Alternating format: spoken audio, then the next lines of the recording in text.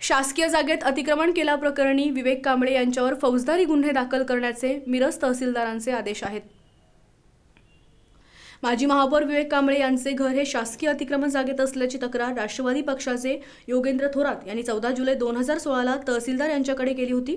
त्यानुसार तहसीलदार यांनी विवेक कांबळे यांना अतिक्रमण काढणेबाबत पत्रव्यवहार केला होता. तरीही अतिक्रमण काढले नाही यावत सरकारी वकील यांचे मार्गदर्शन घेऊन तहसीलदार विभागाने विवेक कांबळे यांच्यावर फौजदारी गुन्हा दाखल करण्याचे आदेश उपायुक्त यांना दिले. आहेत निवडणूक अर्ज छाडणीवेळी योगेंद्र थोरात यांनी याच मुद्द्यावर विवेक कांबळे यांच्या उमेदवारीवर आक्षेप घेतला होता. त्या विवेक कांबळे यांचा अर्ज वैध ठरला होता.